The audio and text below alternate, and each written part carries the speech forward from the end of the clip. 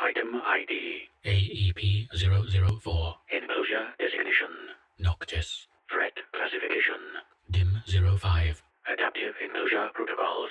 At present, there is no way to anticipate when or where AEP-004 can be accessed. There is no consistent pattern associated with where access to its location AEP-004-1 will open, with the only commonality being some level of privacy or seclusion at the location.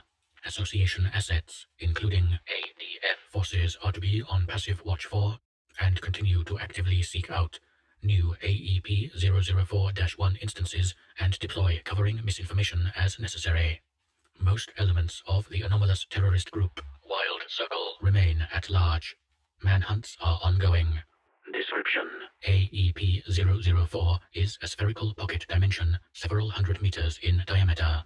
Its internal space is bisected by a gravel path and centers on a large ornate fountain, 3 meters tall by 9 meters wide, surrounded by a circular plaza laid with intricately carved flagstones and decorated with a handful of benches.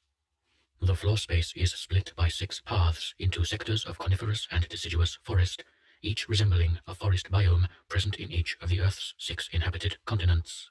The trees appear to be old. Tree ring analysis of stumps suggests an age of several centuries at minimum.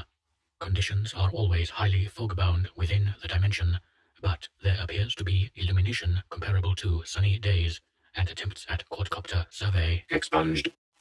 Note. Each path appears to correspond to one AEP 004-1 instance, meaning only six portals to the area can be active at once. Note. The continents constitute North American broadleaf, South American rainforest, African savanna, Central European woods, Asian taiga, and Australian subtropical. The fountain itself has a two-tier design. Carvings along its outer rim depict vast quantities of mammalian life of seemingly every order, phylum, and family in an arboreal scene. The first tier is similarly highly carved, and the spout heads above it show major families of herbivorous megafauna. The four spouts at the top are intricately carved frontal views of major carnivorous megafauna. All have their mouths open with water flowing therefrom, in spite of there being no visible tube mechanism. Note. Depictions include species that are known to have become extinct in the wild in the past millennium.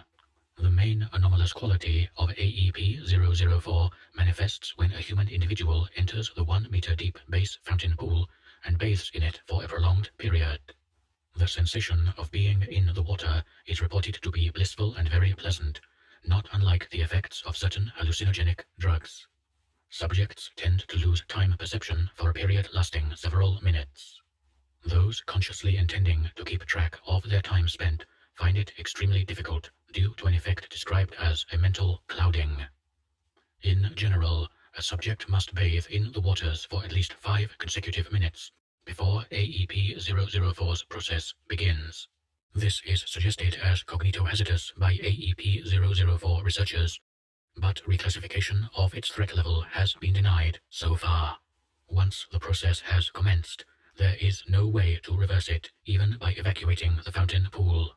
The subject will immediately report a tingling sensation around the extremities, and their body will slowly begin to reshape itself into a form midway toward that of the land mammal with which they most recently came into physical contact.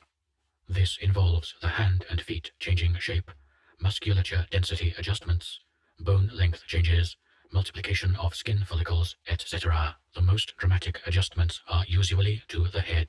The shape of the skull will reconfigure to that of the target mammal as much as possible without affecting the subject's brain, leaving the eyes mostly intact but significantly deforming the maxillofacial region and ears. The posture of the legs and other morphologies may also change depending on the target mammal's anatomical details. The mental clouding effects of the fountain water tend to increase in intensity to the point that most subjects do not notice these changes until they finally exit the pool. Prolonged stays have no additional effect. Up to three days have been attempted with Class O subjects with no apparent effects. Transformed subjects' DNA is not affected, but can easily be falsified as either animal or human with the right expertise. Addendum. The flagstone carvings have been measured as being elaborate down to the millimeter level, and contain numerous writings in ancient Sumerian, Homeric Greek, as well as certain dialects of Egyptian. Only a very small fraction of this text has been deciphered. Excerpts are available on request from Association Archaeological Research Departments.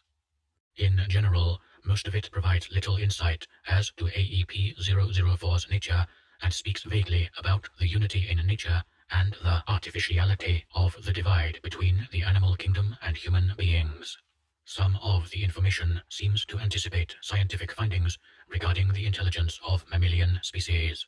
From 1990 to 2000, AEP 004 was the home base of a large terrorist organization, group of interest, known as the Wild Circle, who used AEP 004 as the center for what seemed to be a ritualized quasi-religious practice based on deliberately subjecting their members to a select animal, then having them undergo the fountain's properties. They had significant links to the expunged of the normal world, which caused civilian law enforcement to carry out extensive investigations, especially during their most active phase in the 2000s. They repeatedly committed a wide variety of subversive and eco-terrorist actions, racking up a total body count of and were publicly considered a threat equal to Al-Qaeda by the US government. They were especially notorious for always leaving only traces of animal DNA, making their crimes nearly untraceable. After association investigation and a campaign of ART Bravo 7 animal control raids, including on AEP 004 itself, the group dispersed and has not engaged in terrorist attacks as vehemently as before. Public memory of their existence has been removed or edited via use of amnestics and censorship. The existence of this item has significant implications for association research and practical uses. It suggests dimensional manipulation capacity may have existed centuries or perhaps millennia ago, or that the collective unconscious may affect the universe in some fashion unheard of previously. As a practical instrument, it may be used as a transmogrification mechanism of dubious effectiveness.